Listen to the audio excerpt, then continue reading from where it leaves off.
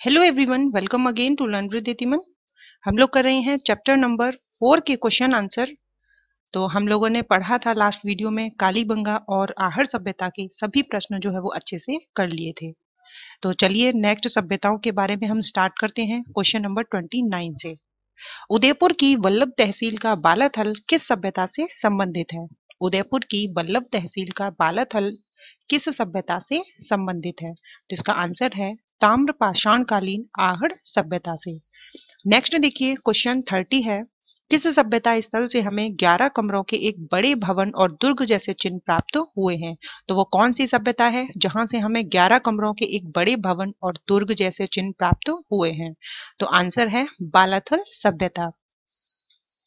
बालाथल से ताम्र सभ्यता के अलावा किस सभ्यता के अवशेष मिलते हैं? तो यहाँ हमें ताम्र सभ्यता के अलावा भी लोहकालीन सभ्यता के अवशेष भी मिलते हैं। यानी बालाथल सभ्यता से हमें तांबा तो मिलता ही है, इसके साथ साथ लोहा भी मिलता है। चलिए नेक्स्ट क्वेश्चन है। क्वेश्चन थर्टी टू लोहा गलाने की भट्टियाँ कहाँ से प्राप्त हुई हैं? लोहा गलाने की भट्टियाँ जो हैं, वह हमें कहाँ से मिली हैं? तो बालाथल सभ्यता से मिली हैं। यहाँ हमें तांबा और लोहा दोनों ही प्राप्त हुआ है।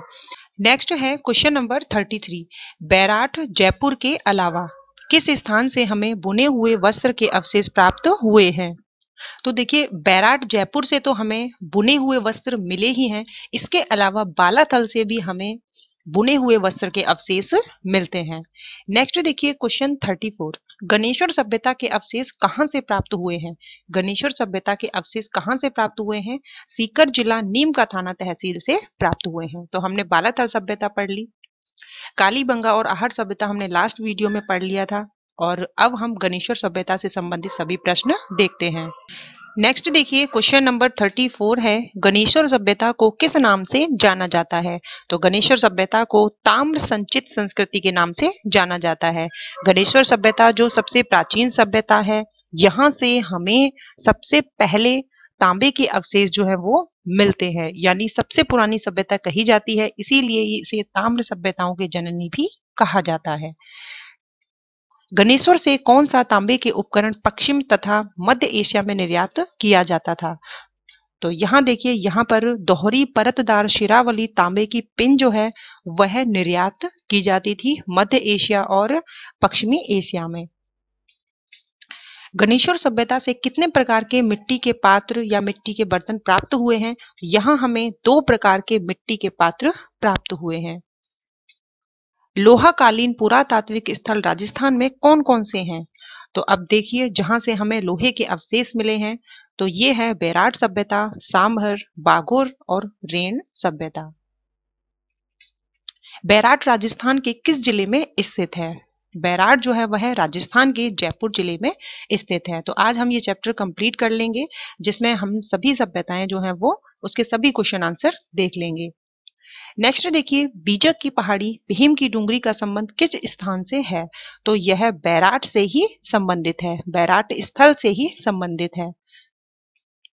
राजस्थान की किस सभ्यता से एक कमरे में 36 चांदी की मुद्राएँ प्राप्त हुई हैं? राजस्थान के किस सभ्यता से एक कमरे से 36 चांदी की मुद्राएँ प्राप्त हुई हैं? तो यह बैराट से ही प्राप्त हुई हैं। पांडवों ने एक वर्ष का अज्ञातवास कहाँ बिताया था? तो इस बैराट में ही विराट नगर के नाम से जो जाना जाता है, यहाँ पर पांडवों ने एक वर्ष का अज्ञातवास बिताया था महाभारत के अनुसार। राजस्थान में मौर्य काल का मुख्य केंद्र क्या रहा था? तो देखिए, जो बैराट सभ्यता है, वह हर युग में ही यहाँ से अवशेष जो है वो मिलते हैं। पाषाण काल से लेकर मौर्य काल तक यहाँ अवशेष मिलते हैं। तो यहाँ मौर्य काल में मुख्य केंद्र रहा है बैराट। किस स्थान से अशोक के भाब्रू शिलालेख और बौद्ध मठ के अवशेष प्राप्त हुए हैं? तो अशोक के भाब्रू शिलालेख और बौद्ध मठ के अवशेष जो है वो मिलते हैं बैराट स्थल से। नेक्स्ट देखिए 36 चांदी की मुद्राएँ जो बैराट से प्राप्त हुई, उनमें से कितनी भारतीय यूनानी शासकों की हैं? तो 36 चांदी की मुद्राएँ हमें मिली थी बैराट स्थल से। तो इसमें 28 जो मुद्राएँ हैं, वह भारतीय यूनानी शासकों की हैं। 36 चांदी की मुद्राओं में से कितनी मुद्राएँ जो हैं, वो पंचमार्क हैं। तो यहाँ पर आठ मुद्राएँ जो थी, वह पंचमार्क थी।